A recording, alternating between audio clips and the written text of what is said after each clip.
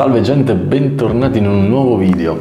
Oggi approfittiamo, ottimizziamo un po' i tempi perché praticamente sono appena rientrato da una ciaspolata su a Caramanico, precisamente siamo arrivati su al rifugio Barrasso, la neve non era il top per le ciaspole ma in ogni caso è stata una bellissima giornata. Ho approfittato di di questo momento, come vedete sono ancora in divisa da escursionista, perché vi vorrei parlare e tra parentesi, spero che questo video serva a qualcuno, sia d'aiuto a qualcuno, vi vorrei parlare, vi dicevo, del mio zaino e del mio setup, se così si può chiamare, per quanto riguarda le ciaspolate e le uscite invernali. Prima di cominciare a mostrarvi il contenuto dello zaino, mi raccomando iscrivetevi al canale, attivate la campanella per non perdere nessuna notifica, nessuna pubblicazione dei prossimi video che ci saranno e vi lascio anche il nickname di Instagram per andarmi a seguire così vedrete pure i backstage di questi di questi giorni un po' così dietro la videocamera. Partiamo prima di tutto dallo zaino che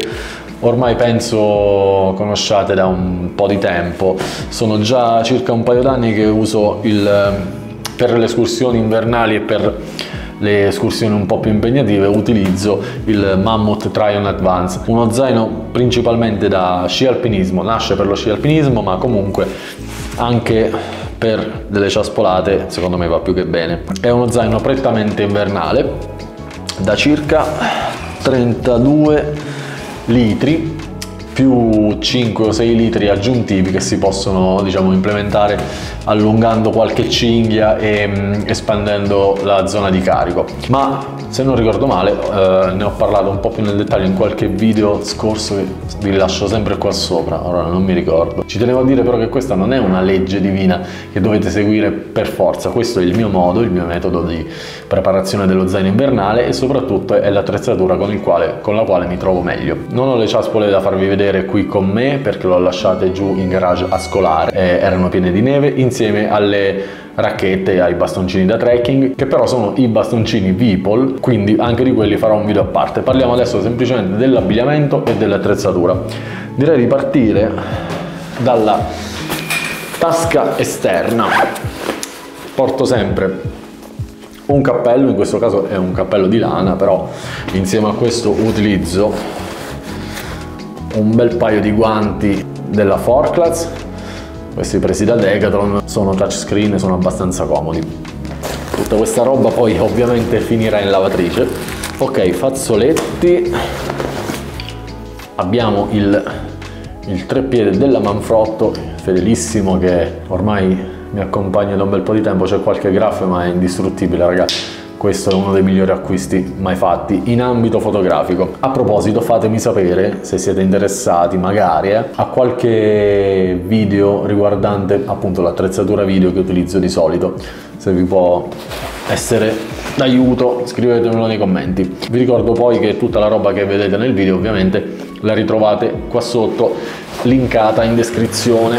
Allora, ah, tasca esterna abbiamo finito. Vediamo un attimo l'altra tasca esterna che è praticamente questa qui dove tengo un paio di guanti di ricambio. Sì sono dei sottoguanti in realtà molto leggeri però eh, in caso di vento vanno più che bene.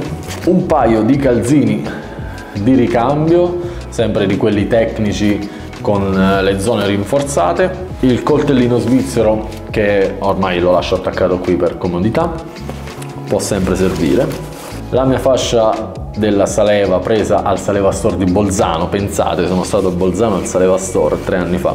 Dopodiché il mio scaldacollo, di questi eh, diciamo che ne farò qualche ristampa, ve lo prometto, magari per l'estate prossima qualcosa uscirà. Poi che altro? Un paio di, di bustine di amochina disinfettante e queste non possono mancare secondo me se andate con le ciaspole o con i ramponi. Sono semplicemente delle fascette da elettricista. Perché? Perché queste vi, vi salvano le gambe in caso si dovesse rompere una ciaspola o magari un rampone. Quindi non pesano niente e le buttate dentro. Passiamo un attimo, mamma mia quanto è lurido questo zaino. Passiamo alla parte al fondo dello zaino dove oggi ho messo il kit del pronto soccorso, del primo soccorso, non mi ricordo mai come si dice, e... Oh cazzo, eh, si è accesa la luce del, eh, del power qua dentro c'è tutta la roba elettronica. Power bank, carica batterie della torcia frontale, carica batterie del cellulare e un piccolo cavo per la Sony che porto di solito. Tutto ciò dentro la sacca impermeabile. Queste sono miracolose. Ve le ho lasciate in descrizione in un altro video ma ve le linko comunque qua sotto. Vediamo di spegnere la luce. Esternamente abbiamo finito con l'attrezzatura ma andiamo a vedere la parte interna dello zaino. È assolutamente confusionaria quindi imparate a gestire gli spazi e i carichi meglio di me mi raccomando vi prego.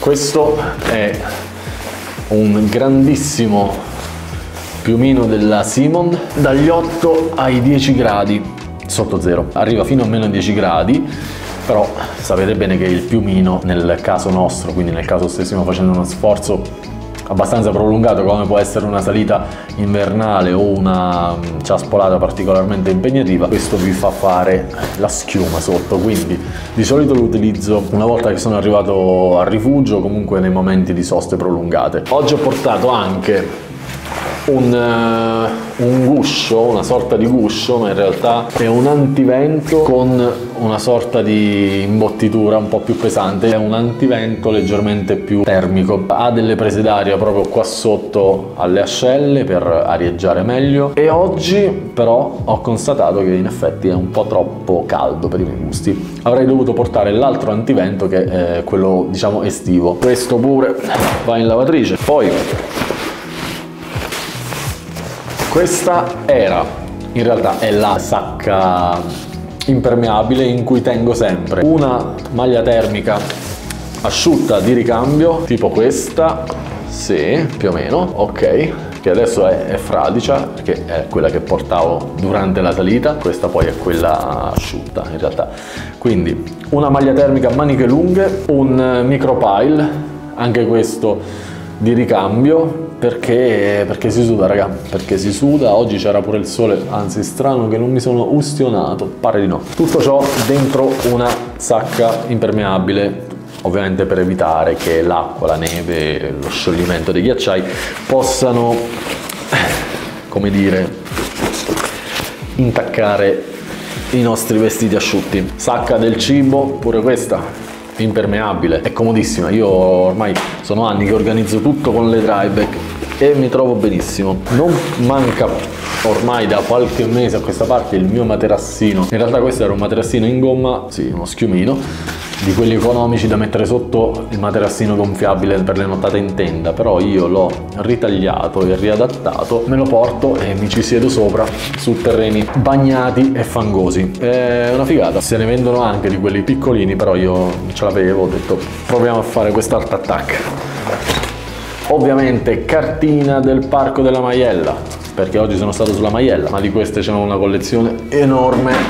Ok passiamo al reparto acqua cibo e bevande. Ho portato una borraccia con un litro d'acqua. No non utilizzo d'inverno la mia fedelissima camelback della Salomon perché semplicemente perché non bevo mai due litri di acqua durante le uscite invernali. E soprattutto questa la tengo dentro lo zaino mi si mantiene ad una temperatura un po' più normale. In realtà il tubicino della camelback esternamente rischia di ghiacciarsi. Eh, ho provato in passato a utilizzare il, la protezione, la coibentazione in neoprene, ma non era granché come soluzione, quindi quest'estate, a primavera, tornerò con lei sulle spalle, che è comodissima la camelback. Ma voi poi siete tipi da camelback o siete tipi da borraccia? Voglio, voglio creare un po' di, di polverone. Reparto bevande calde. Oggi ho portato il mio kit da cucina, bombola del gas e fornelletto della Tox Titanium costato un occhio della testa ma super leggero, super compatto. Questo ve l'ho fatto vedere in un altro video. E qua dentro c'è tè, caffè, accendino e appunto il fornelletto. Arrivati su ci siamo fatti un bel tè caldo ed è stata una meraviglia. Comodo ma se non avessi voglia di portarlo con me nelle uscite di solito porto uh, il thermos che sta qua dentro, non ci arrivo, non ho voglia di prenderlo. Tazza in legno per bere, acqua, vino, tè, quello che volete. Questa è una tazza in legno, una cuxa esattamente, una tazza Sami, per chi non lo sapesse. Di solito si intagliano dai tronchi di betulla, io questa l'ho comprata perché mi piaceva, è una figata. Poi il legno is better. Ovviamente ragazzi, colui, il capo supremo, il guscio, questo sta dentro il mio zaino, bello rilegato con un elastico. Lo tengo sempre a portata di mano in estate, in inverno. È l'unico capo di abbigliamento che non tolgo mai dallo zaino perché questo vi salva la vita, sia come antivento, sia come antipioggia e come riparo. Ok, abbiamo finito. Sì, abbiamo definitivamente svuotato lo zaino qualche piccola precisazione. Questo è il mio setup, estremamente personale, come ogni setup, come ogni impostazione dello zaino, dell'attrezzatura e dell'abbigliamento. Più in là probabilmente farò un video sull'ABC di come vestirsi in montagna. Era solo per mostrarvi un attimo cosa porto di solito. Mancano all'appello le ghette perché ho addosso i pantaloni Decathlon, della, sempre della Simon da alpinismo che hanno le ghette incorporate. Come base di partenza, come abbigliamento di partenza, di solito utilizzo una base layer, quindi un primo strato a contatto della pelle, sarebbe una maglia termica a maniche lunghe che mi aiuta a far fuoriuscire il sudore verso l'esterno, un micro pile con apertura frontale magari è preferibile, è leggermente più comodo e sopra un antivento e poi ovviamente ragazzi va modulato tutto l'abbigliamento durante la salita, durante la discesa va assolutamente modulato per cercare di sudare il meno possibile, di rimanere il più asciutti e il più comodi possibile. Ok, Credo che sia tutto per oggi. Bene, ora mi tocca rimettere tutto a posto, come sempre, quello che gli escursionisti non dicono. Vado a lavare questa roba. Spero il video vi sia piaciuto. Mi raccomando, iscrivetevi al canale, seguitemi su Instagram. Qualsiasi domanda potete farmela lì o anche sotto nei commenti. Alla prossima! No raga scusate mi sono scordato di dirvi che calzini uso Vabbè sono calzini in lana Merinos Decathlon e sono super caldi, super comodi e vabbè insomma questo è un altro discorso. Parleremo più in là delle calze da trekking. Ciao!